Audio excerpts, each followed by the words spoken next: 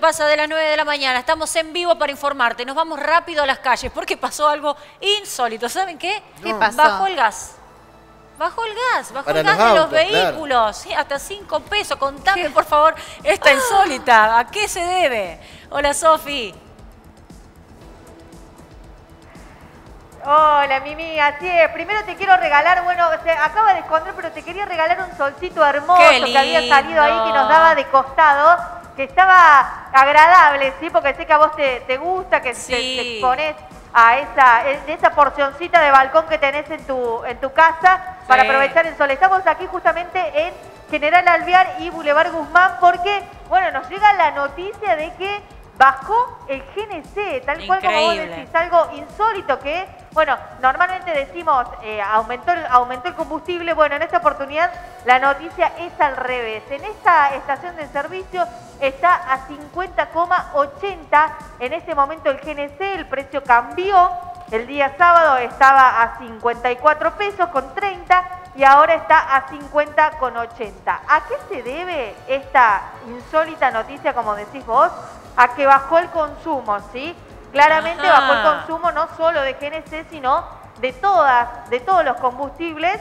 Entonces, bueno, obviamente las estaciones de servicio entendieron que aquellos usuarios de, de- de- de vehículos no estaban pudiendo hacerle frente al valor que estaba teniendo el combustible. Así que bueno, te, te refresco un poco la, la pizarra porque por ahí la imagen en estos casos donde se toman la- las pizarras de, las, de los Sí. valores de las estaciones de servicio no sale claro, pero la Super en este lugar está 89,90. Está más barata también. La, la Quantium está 115,10, la Diesel.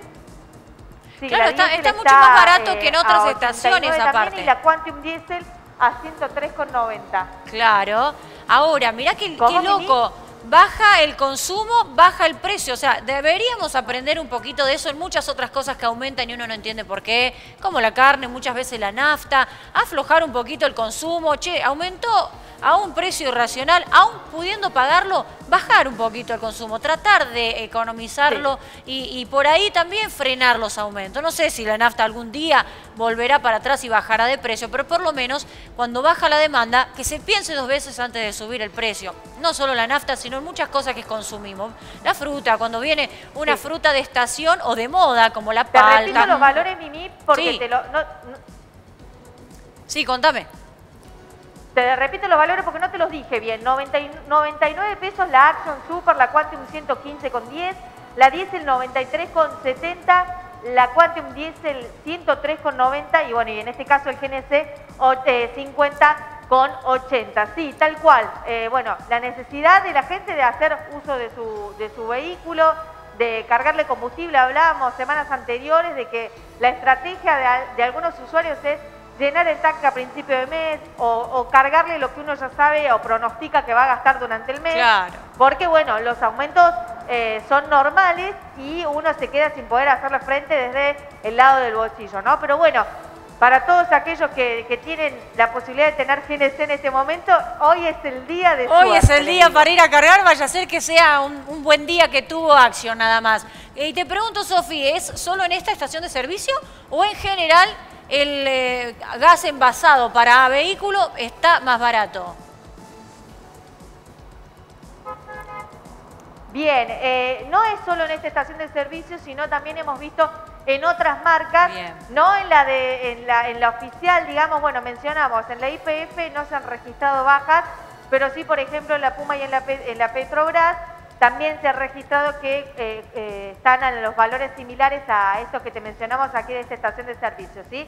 Normalmente sabemos que el combustible, eh, bueno, lo maneja IPF, cuando IPF aumenta sus valores, por consiguiente aumentan el resto de las marcas, Claro. pero bueno, en este caso el GNC Mimi tiene un valor libre, por lo que las estaciones de servicio pueden eh, ponerle el valor que quieran en función de lo que se considere de acuerdo a la demanda y a la oferta que tengan, ¿no? Está vos. libre el valor, por eso es que por ahí encontramos en algunas estaciones Claro. de servicio que está más barata que en otras, ¿sí? Pero ahora el precio en, en la mayoría de las estaciones está alrededor está. 50,80, ¿sí? Está eh, unos, unos centavos más, unos centavos menos, pero ese es casi, te diría, el valor oficial que eh, están teniendo todas las estaciones de servicio. Bueno, gracias, Sofi. Qué loco que una buena noticia sea hasta insólito también, ¿eh? Que tengas un gran día. Volvemos en un ratito con vos. Dale. Bueno, ahí está gente, taxi, remis, o tenés el equipo, porque, bueno, viste que también la gente se inclinó mucho a comprar los equipos de gas para sus vehículos particulares. Y aprovechen. Y es, es insólito porque por el otro lado, del otro lado de la moneda, lo que tenemos es que al haber aumentado las naftas, se confirmó que subieron las multas de la caminera también, que es noticia que desde hoy empieza a regir esta suba. Estamos hablando montos eh, para, para infracciones leves que van desde los 1.900 pesos hasta, bueno, aquellas em, sanciones graves que van eh, hasta los 198 mil pesos de multas. Así que, bueno, con esta noticia eh, sumamos a, la, a la lista de los aumentos, ¿no? Ahí está. Bueno, ahora nos vamos a video.